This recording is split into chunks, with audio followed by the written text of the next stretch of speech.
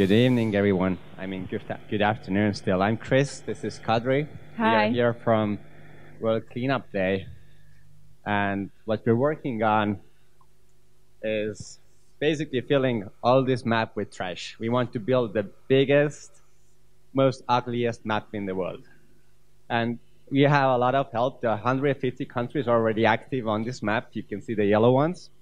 So these are all countries that have national teams that are today doing mapping. They started two months ago or three months ago this spring. Yellow and light yellow ones as well. So only the white ones are missing. Yeah, exactly. So uh, all of these countries are already mapping, and they are mapping until 15th of September this year, and this is the World Cleanup Day, when all of this trash, we'll try to clean it all up. So on 16th September this year, the planet will be a lot cleaner. Uh, it's, by our count, the, the world's biggest peaceful civic action to date. And obviously, trash is a huge problem, and uh, it actually it's affecting about nine uh, UN sustainable goals. So if we can solve trash around the planet, yeah, we have solved you know nine of those goals. Uh, but how do we get there? Uh, the big problem today is trash blindness because people who are living with trash, you know, day in, day out, they're actually quite used to it. So you might go out and don't even notice the trash on the street, you know, in the forest, in the seaside. So, uh, you know, it's, it's kind of just there and you don't think about it so much. So how do we make people see that trash? We create a huge map, as I already said. But we cannot do it even alone, you know, with the 150 countries if we only had our, our app, which we have. We have actually 20 or more apps that people are using around the planet in different countries that are localized for their own needs, for their own, own languages and culture and you know uh, whatever. And all of that data, we our goal is to get all of that data onto the single map. You know, obviously, you can see we're using OpenStreetMap here for CartoDB. Uh, and all of those dots are actually different types of trash. So what we're also trying to do is uh, get the type, you know, the, is it plastic, is it uh, is it uh, some kind of other type of like rubber or, or whatever? And yeah, so uh, Kadri will give you more details about that. Yes. So uh, this uh, this map currently it is already there's data from eight different apps. So and we are currently creating the collaboration with, like Chris said, around 20 and the main goal, goal, let's say, let's do it, believes in collaboration and partnership because alone we cannot do anything. So we have our own app, which is like, let's say, creative for the purpose of World Cleanup Day. But we also see that it doesn't really matter what people use. It's important that it's open data, that it's openly available, that anybody can use it later on also for researches. So that's, uh, that's the goal, and these are the partners we're also looking for. It's also important to say all of that code for this uh, application is also on GitHub, so anyone can fork it, can improve it, so forth. Yeah, so I will show you a video from our Nigerian team, which is uh, about mapping. So I will show a few examples, and this one, yeah. My name is Oluwayemi, and I'm with Let's Do It Nigeria. Let me tell you something quickly. I want to tell you about this World Cleanup app, and it's really magnificent because it will help you to map data and trash it against September 15, 2018, which is the World Cleanup Day. All you have to do is go to your Google Store or iOS Store, type the word World Cleanup, enter, and download it. Voila!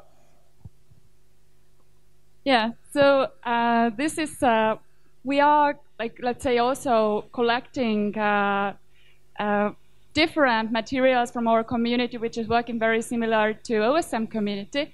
And this is an example from Tanzania, for example, where actually the hot OSM team is doing the mapping, whereas the LDI is doing, uh, doing the cleanup. So it's a huge partnership. Uh, partnership. There's a few more pictures from, uh, from Tanzania. This is Slovenia, which is actually the map of Slovenia created by Trash Points. So Slovenia is one of the most mapped country based on waste that we, we have currently. This is Romania, and in case of Romania, they have already like direct links to local municipalities, so the local municipalities are obligated to clean up the waste in two months when a citizen reports it. And well, Indonesia is a great example because there's like 17,000 islands and it's already mapped. We started in April, so that's quite crazy. And uh, big question: yeah. Does OSM need a mapping team for trash as well? Will you guys go out and map the trash with us? Big yes. Awesome. Okay, then we will create one. yeah. So all of that started in Estonia 10 years ago, and now we are here with 150 countries, which is awesome. You can download the app for Apple uh, from App Store and Google Play, and there's uh, everything available on GitHub. If you want to help translation, it's on Crowdin. There's a Facebook group. Just Google us, you'll find us. Thank you. Thank you. It's not often that a rubbish map gets a round of applause. So, um, while we switch over to the face of OSM in Togo, do we have? Oh, did we have Samar here? Balamita, Amy? Nope. Oh, that means it might be my talk then. Which I think the next one isn't here, but my slide should be there. Called Gregory. Is there a question for the trash map?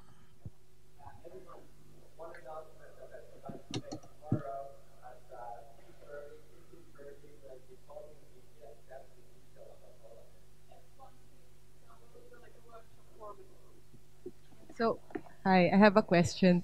So, based on your database, which country is the most wasteful?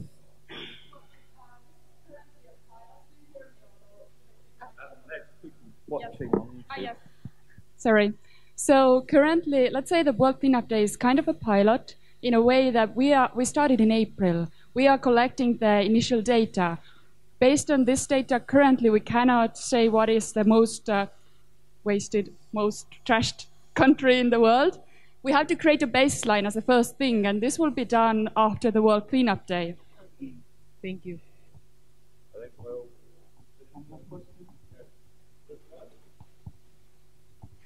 Do you know what happened uh, with the trash the volunteers collected? Is it just moved from one place to big trash dump? Uh, sorry, what was the question? What happened with the trash the volunteers collected? It just moved from one place to another. Aha. Okay, so we are. Uh, let's say that the what happens after is uh, based on local communities because the sorting, everything is different in each local community.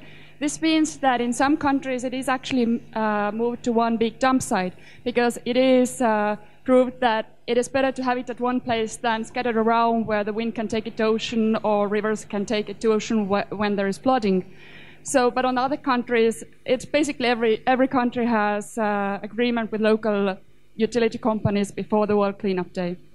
Uh, one thing to add to that is that anyone who has already gone out, mapped trash, or participated in the cleanup probably is not ever going to put any trash in the nature anymore.